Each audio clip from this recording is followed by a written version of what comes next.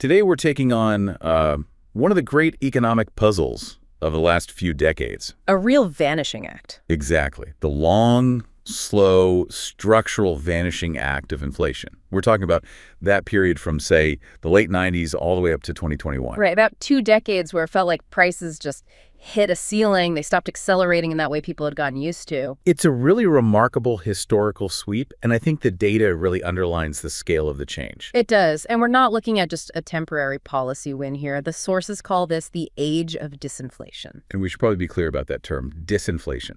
Yes. It just means the rate of price increases slows down a lot. And this was um, a universal experience. It affected the big economies and crucially for our story, small open ones like Israel. And when you look at the raw numbers for a country like Israel, the change is just jarring. I mean, in, in, the early 90s, you're seeing inflation in the high teens. Sometimes touching 20%. Right. But then it starts this steady, relentless drop.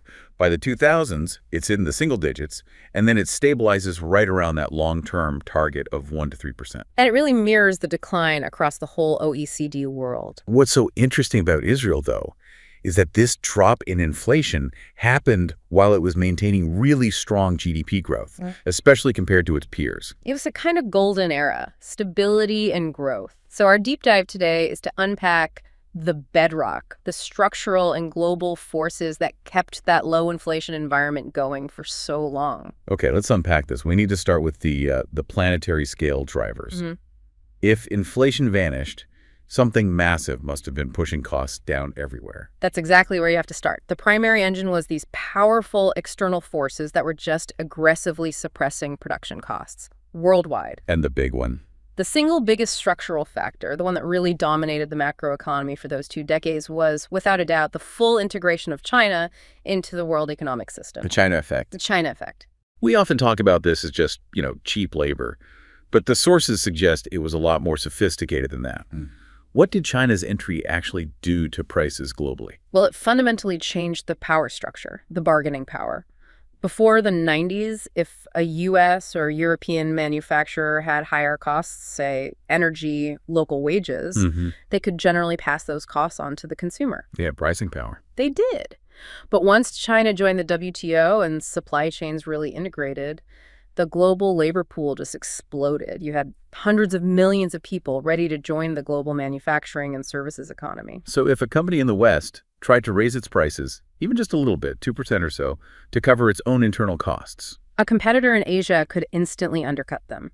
They could do it with lower labor inputs, with incredible efficiency, and a supply chain built for speed and low cost. So globalization didn't just lower the cost of making things. No, it imposed a hard global cap on price increases. This constant threat of competition, it just wore away pricing power in almost every sector.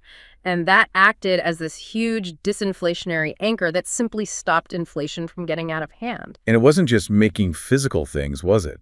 The sources mention this extending into services. Oh, absolutely. The globalization of the labor force went into professional services. You had U.S. accounting firms, tech companies, hiring skilled labor in India, for instance. So the ability to source talent at these vastly different price points meant the cost-saving pressure was universal. Which brings us neatly to the second huge external driver, technology, technological advancement, and the productivity gains that came with it. Right. So tech did two things at once. Exactly. It lowered the price of goods that use a lot of tech components, and it made all the old ways of producing things vastly more efficient. I found that historical analogy in the source is really helpful here. The one about the sickle versus the tractor. It's a perfect illustration of labor productivity, which is really just output per worker.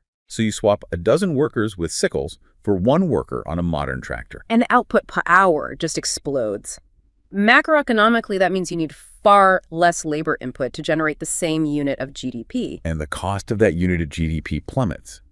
We see it in history, right? The share of agriculture in the economy shrinks, not because we need less food, but because we got so much better at growing it. Precisely.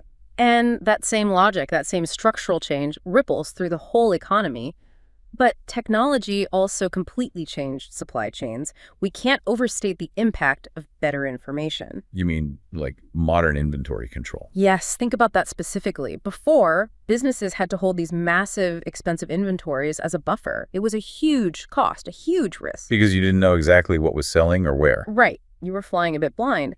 But with sophisticated IT, real-time data, robust communication, Hmm. inventory management shifted to just-in-time systems. Which cuts down on waste, reduces the capital you have tied up in stock. And it significantly lowered the volatility in your operational costs. The cumulative effect of all those small efficiencies across billions of transactions was this powerful structural downward force on prices that just lasted for decades. That sets the stage perfectly. So if globalization and technology lowered the ceiling on prices by slashing costs, the next piece is how governments built a stable floor under that low inflation rate. And that's where the institutional anchors come in. Here's where it gets really interesting. The primary anchor was this big shift toward rules-based monetary policy, specifically inflation targeting. The idea is simple, really. The government gives the public a clear public promise. A target range, Yeah. like 1 to 3% in Israel. yes, and then it commits publicly to meeting that target. But why is that promise so powerful? I mean, why is it so much more effective than what came before? It's all about trust. It's about expectations. Historically, inflation often speeds up because people expect it to. Workers demand higher wages, businesses raise prices proactively. It's a self-fulfilling prophecy. So if the central bank can prove, it will hit its target again and again. It anchors those expectations. People start to believe that prices won't spiral out of control. And that collective belief by itself is a powerful anti-inflationary force. It creates a virtuous cycle of stability. The sources show, though, that even though Israel declared an inflation target back in 91, it wasn't a clean break. This was a messy process. Absolutely. That's a crucial detail. That period from 91 to around 2000 was full of volatility, political fights, and um, intense debate among economists about the role of the central bank. So it took nearly a decade to earn that public trust. It did. It took a decade to adopt all the elements of the regime and really achieve that robust price stability. That long, hard road just proves how important sustained, earned credibility is. And that monetary credibility leads right to the second institutional pillar, fiscal rules. Right. This was about reining in government spending. It addressed a really deep political problem. And it to just spend more, especially in good times. Exactly. Politicians want to fund projects, cut taxes. In the past, that often meant printing money or racking up debt, which eventually fuels inflation. So fiscal rules are basically a legislative straitjacket, Hmm. a signal to the market that you're going to be responsible. That's a good way to put it. There are long-term limits on budgetary aggregates. For instance, a law that says your annual deficit can't be more than, say, 3% of GDP. It's designed to fix those distorted incentives and manage the debt to GDP ratio. And in Israel, we saw this formalized in specific laws. Yes, the Deficit Law of 1992 and then the Expenditure Law of 2004. These were long-term attempts to regulate government fiscal activity, to bring discipline. The whole low inflation regime rests on both monetary and fiscal discipline working together. Okay, that paints a really clear picture of these massive global and institutional changes. But how did these forces actually, you know, get transmitted into lower prices inside a small open economy like Israel? Right, let's turn to those domestic channels. The global drivers were the input, but local dynamics determined the outcome. And the biggest one for Israel. The most robust anti-inflationary force was sustained exchange rate appreciation. In other words, the strengthening of the Israeli shekel. Let's make that concrete. What does a strong shekel actually mean for the average person's wallet? Okay, imagine you're buying anything imported. A smartphone, a car, even raw materials for a local factory. If the shekel is stronger, it takes fewer shekels to buy the dollars or euros you need for that purchase. So imports just get cheaper. They get cheaper, directly.